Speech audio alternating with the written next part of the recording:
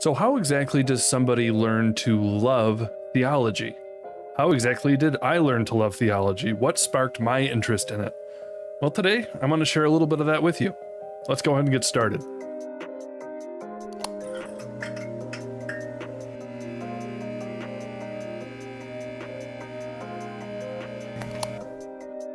So, hello everybody, and welcome back to Grace Nerd. My name is Eric. If you're new to the channel, if you enjoy talking about Christian theology, or you like commentary on culture from a Christian worldview, or you like to simply listen to talk about the Christian life, then make sure that you go ahead and subscribe and hit the notification bell here on YouTube. That way, you'll know when new episodes get uploaded. Or if you've discovered the podcast in audio form, make sure that you go ahead and subscribe on whatever platform you found it. So, in this episode, I'm actually going to be doing something a little bit different. I'm going to share actually an old old video with you that I made on my gaming channel a few years ago. I made it before that channel had as much focus on gaming as it does now, and it was long before I decided to split off a second channel where I could focus exclusively on theology. So I think that the video that I'm going to share with you actually is far better suited here, and it only received a couple hundred views over the course of the years on the other channel. So in this video, I share some of my story as to how I began to pursue theology in the academic world and what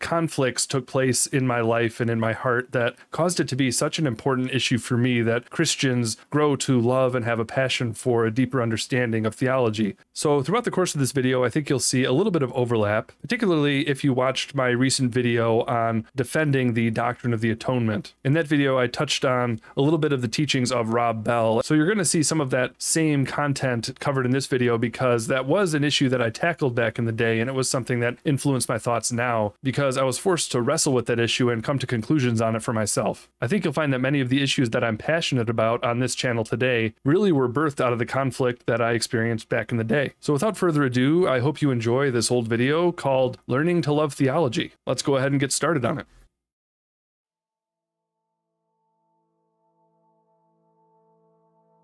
Looking back, my memories of growing up mainly take place in charismatic churches. I know my audience is mixed, so that will strike different viewers in different ways. Those not familiar with Christianity or church denominations might not make much of it. Those who know me well will not be surprised since they know my story. Those who are familiar with my current convictions regarding Reformed theology or the doctrines of grace, but who don't know much else about me, might be shocked.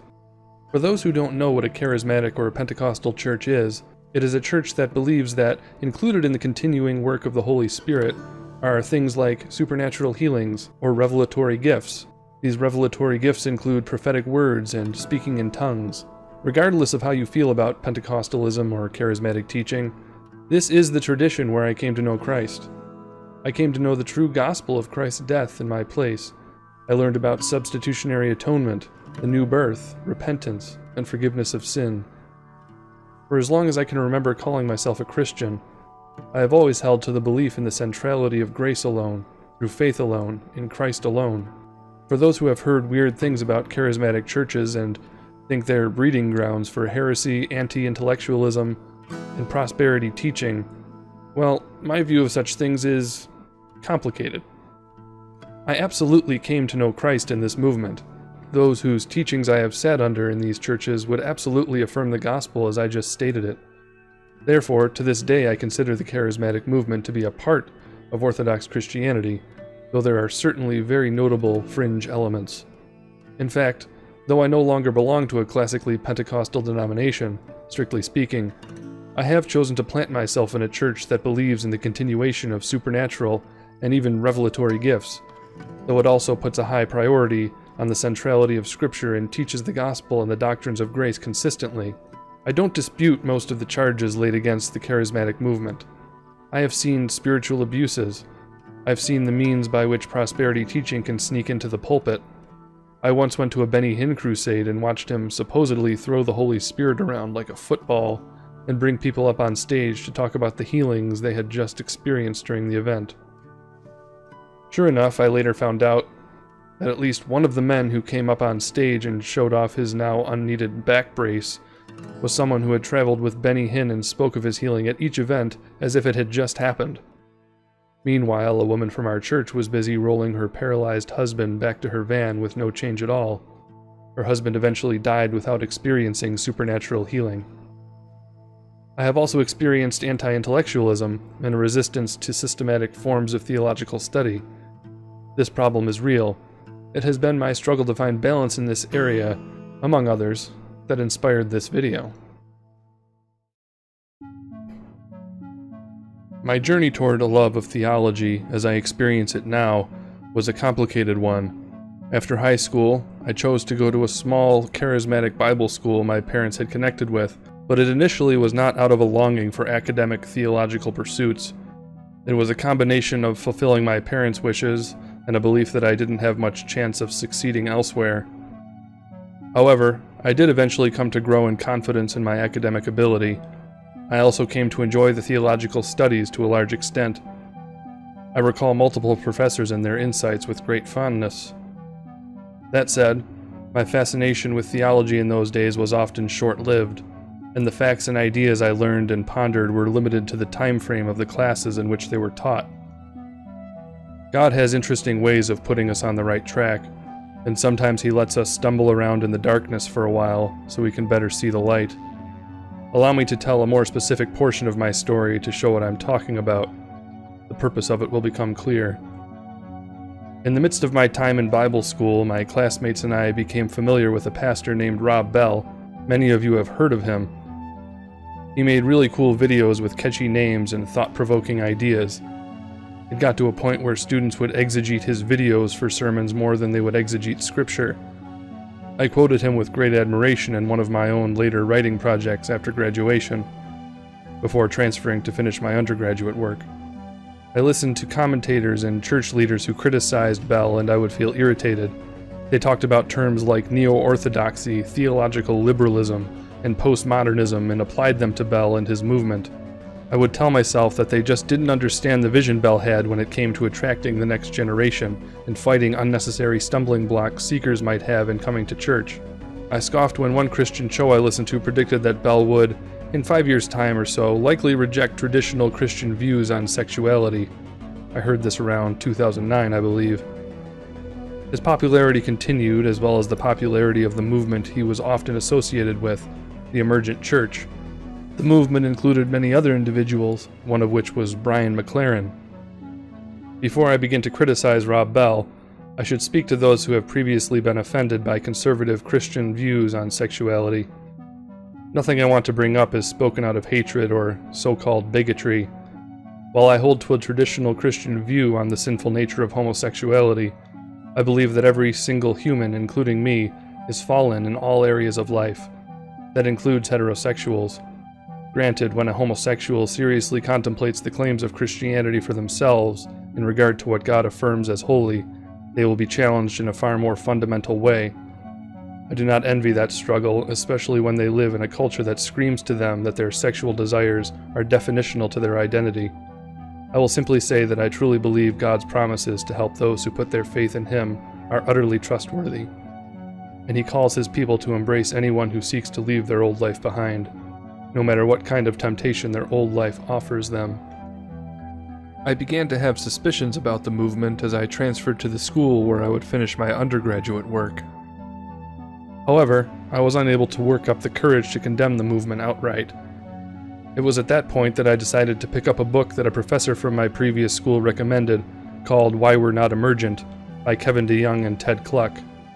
I don't think it would be an exaggeration to say that this book shifted the course of my entire theological thought life. It was careful, precise, and gracious even in its strong declarations. Yet it was also a devastating exposure of the theological roots of the emergent church movement. While the subject matter is now dated, and the emergent church is not even a term commonly used anymore, there are principles of discernment in the book that I would hope every Christian would care to learn. Sure enough, not long after I consciously removed myself from the influence of the emergent church. Rob Bell and Brian McLaren released books almost simultaneously that confirmed everyone's fears. Brian McLaren released A New Kind of Christianity, which undercut countless historical Christian truths. He rejected the historicity of the Old Testament and replaced it with a view that it was merely a snapshot of the immature beliefs of the people of God at that time.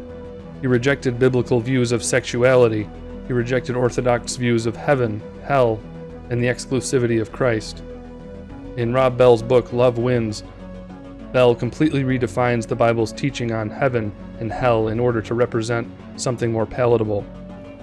And then there is the question behind the questions. The real question what is God like? Because millions millions of people were taught that the primary message, the center of the gospel of Jesus, is that God is going to send you to hell unless you believe in Jesus. And so, what gets subtly sort of caught and taught is that Jesus rescues you from God.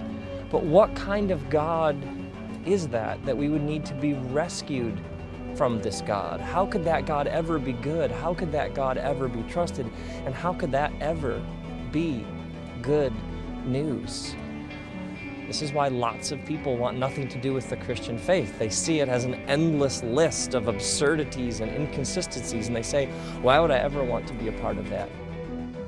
And sure enough, in 2013, he fully abandoned traditional biblical teachings on sexuality.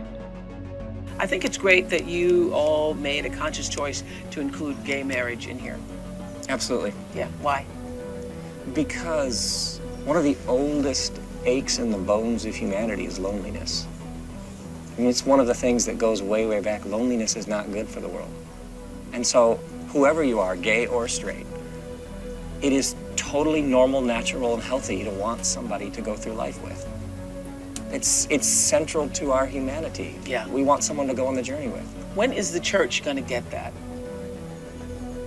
Even sooner than the prediction I mentioned before. When reasonably challenged about this by one of his friends, Andrew Wilson, on Unbelievable Radio, Rob Bell did not exactly respond graciously. Is that it then? Did we just like part ways? Or do you take the bread and wine and does Christ hold us together? Is there something that trumps whatever differences we have? Like, that's the question. Mm. Like, literally, you're asking, and this is part of like sort of the bull that really, really, really pushes people away is when you have a particular conviction and all of a sudden your orthodoxy or your faithfulness to Jesus is all of a sudden called into question. Mm. After experiencing all of this, I was forced to examine the ways by which I should come to embrace or reject different teachings. I had to come to a realization. It was not leaders in my current denomination who had expressed any interest or willingness to refute movements like the one I had just escaped. If anything, it came to a point where I was warning them about certain trends in the church. Sometimes they lent their ear, sometimes they didn't. So, who were these leaders who so clearly saw this movement for what it was, even before its more pernicious elements came to light? Some of the names that I ran across as I tried to educate myself were John Piper, D.A. Carson, and as mentioned before, Kevin DeYoung. While there are plenty of differences among them, they held certain truths in common across the board. They had an uncompromising commitment to the centrality of Scripture as our sole infallible authority. It was the book that settled disputes when rightly handled. It was not to be demeaned as a merely human creation that could be accused of causing disputes. Humans cause disputes, not the Word of God. All of them held to the centrality of the gospel, the gospel that I always embraced at the deepest level, even when I was giving deeply mistaken teachers the benefit of the doubt. What was new to me was their common belief in what are often called the doctrines of grace. In short, they all held to a very high view of God's sovereign providential rule, both over creation as well as over salvation itself. While my discovery of their teaching did not immediately convert me to their core tenets, it forced me to have more serious conversations with the friends I had made in college, friends who in fact had already embraced this high view of God's sovereignty. I was beginning to embrace theological curiosity without any requirement to do so from the school I was attending. In short, my being burnt and nearly led astray by a false movement actually turned out to be God's providential means of causing me to pursue and love the study of theology more than ever before. Conflict had become a driving force towards sound thinking for me, much like it did for the early church. After I finished my undergraduate work, I had the opportunity to visit Bosnia Herzegovina. I had done a year and a half of missionary work there with my family from 2002 to 2003, and now that it was January of 2011, I was happy to join my dad on another trip there for a couple of months. While I was there, I was able to help set up a publishing office for him, as well as take something of a vacation since I had just graduated. Inevitably, I began to go on the internet and revisit old arguments I had engaged in with friends at school. I needed to know what I thought about such divisive issues as election and predestination. This is where I finally encountered John Piper in full force. Again, I intellectually was not fully convinced of what is often called the five points of Calvinism. I remained unconvinced even while listening to Piper's series on it. But something else happened as I began listening. There was a moment where Piper described how he thought about his faith, and it resonated with me so deeply that I suddenly felt that I was given permission to use my mind in unison with my spirit. My mind felt respected in a way that, up until that point, I felt was frowned upon by those in my Christian tradition. I didn't always believe what I do today about what the Bible teaches concerning the sovereignty of God in our salvation. My home growing up was um, an evangelistic home in which my dad loved the sovereignty of God and loved the glory of God and manifestly prayed it and manifestly lived it. He didn't articulate it much to me. We didn't talk much theology growing up. My father was not a theologian in the sense of being an analytical thinker who faces problems and then solves them. He was a proclaimer of biblical gospel. He was an evangelist.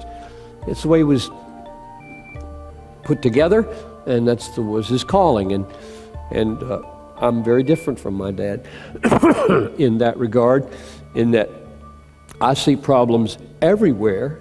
I'm just wired to see problems, and I devote most of my life to trying to solve them or cope with them because I can't not see them. And I've worked, in fact, relatively hard in the last 30 years to cultivate that skill because I think John Dewey was right when he said nobody begins to think until they see a problem. When you see a problem, your, your mind comes into gear and you start working on it. But if, if you don't see any problems, your mind gen- generally stays in neutral and you don't apply your mind to make sense out of anything. It's when you bump into apparent contradictions or puzzling things in nature or puzzling things in people or puzzling things in the Bible that your, your mind starts to ask questions and put things together and formulate hypotheses and rule out options and, and thinking happens. As I began to talk about these theological issues with missionaries and other workers on the trip, the presence of this stigma was confirmed for me. One missionary tried to encourage me by saying that eventually I would settle down and realize that all these issues simply weren't important. In other words, it seemed unavoidable to understand him as saying that a sign of maturity as a Christian was that you no longer felt the need to pursue theological understanding. In a separate conversation, I felt as if he had something of a Freudian slip. He pointed out the fact that many in the church we were helping did not have Bibles. However, he did not speak of this in a strictly negative way. He was pointing out that this allowed people to think much more simply about their faith and just focus on Jesus, rather than getting into disputes caused by more intense biblical study. It wasn't even that he was saying he disagreed with the perspectives I was considering. He thought the entire pursuit itself was a waste of time. Sentiments similar to this were expressed when missionaries from a very prominent American charismatic church came to minister during a short term visit. In one sermon, one of the missionaries talked about the essential truths we agree on versus theology. He spoke of theology in a degrading way and described it merely as my opinion versus your opinion, and something that would only lead to useless division. At this point, my feeling of marginalization was complete.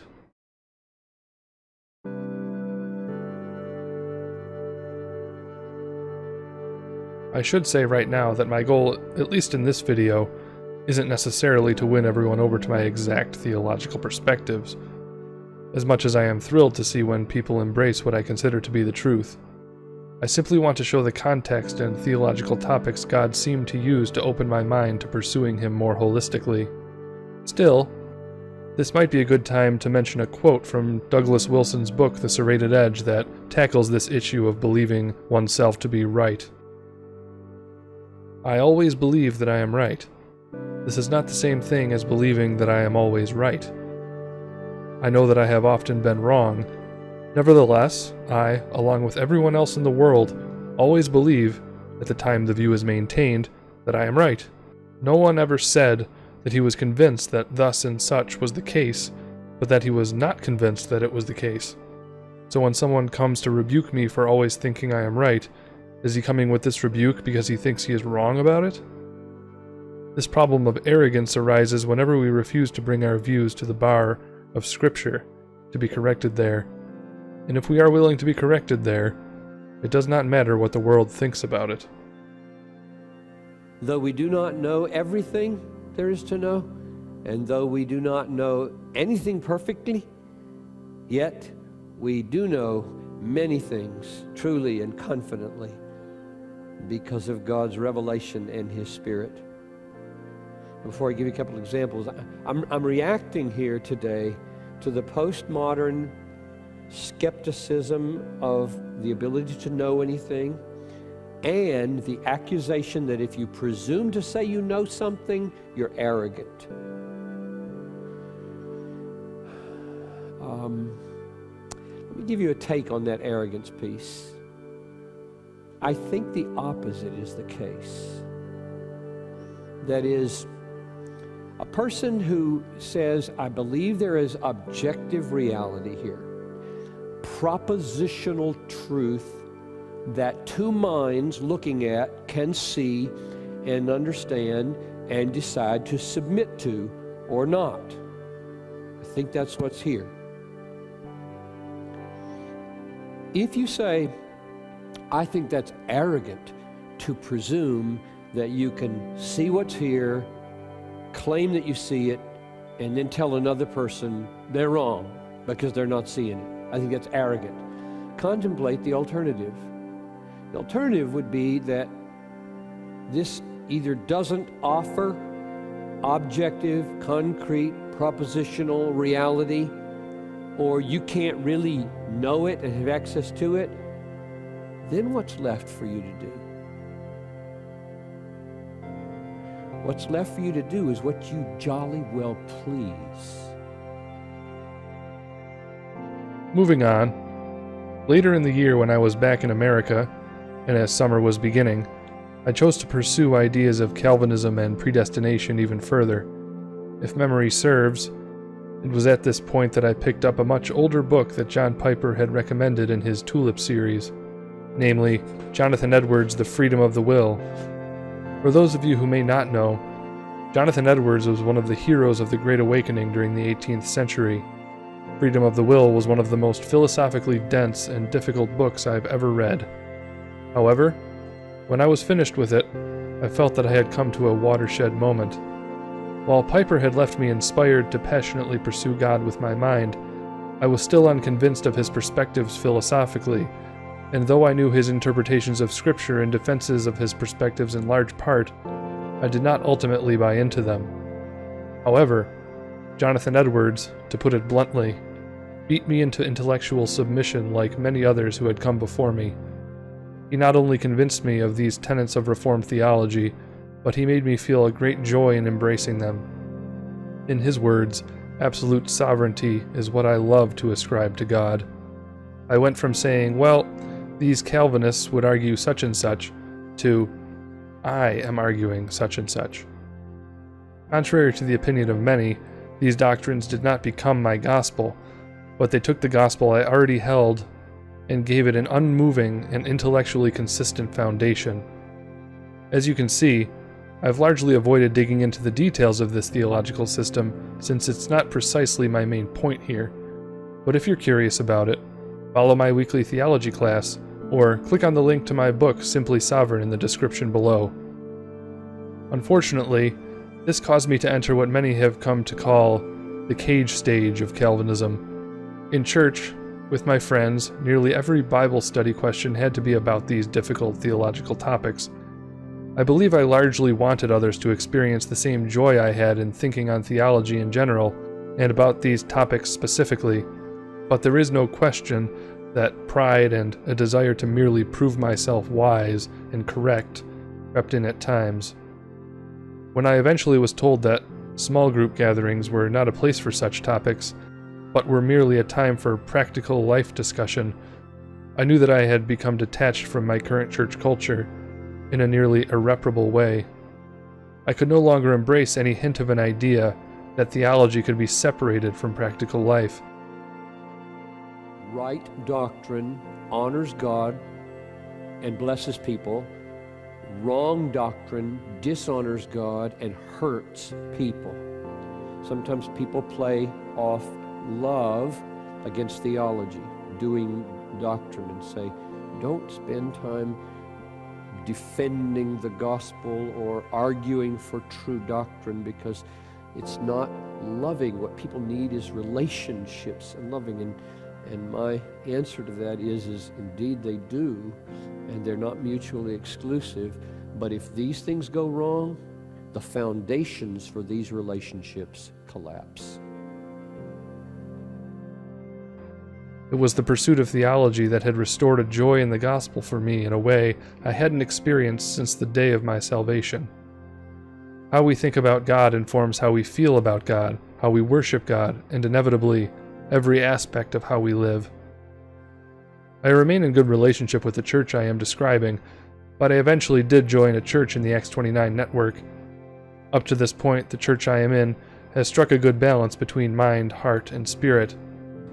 I am currently in a place where I can grow, continually hear what I believe to be a biblically grounded gospel, and I have been given opportunity to teach it to others. As you can see, this has largely been an autobiographical video, but hopefully, I have painted a picture of what I believe God does in the lives of many of His people to cause them to apply all of their life to their faith, including their mind. Conflict and problems are never fun things to be around. But I agree with John Piper's quote when he pointed out that we do not truly begin to think until we see a problem. There is a way to disagree agreeably with our brothers and sisters in order that we may grow. But if we try to avoid conflict by making the essentials of our faith as narrow as possible in order to avoid as many unnecessary discussions as possible, the enemy has a way of making the realm of essentials as small as possible. This is what leads to emergent church movements and the like. So I hope I have communicated to you both the joy of and the need for deep theological study. While not everyone is called to be a theologian in the sense of being an academic, all of us are theologians in that we are called to think rightly about God. So make every effort to be a biblical theologian.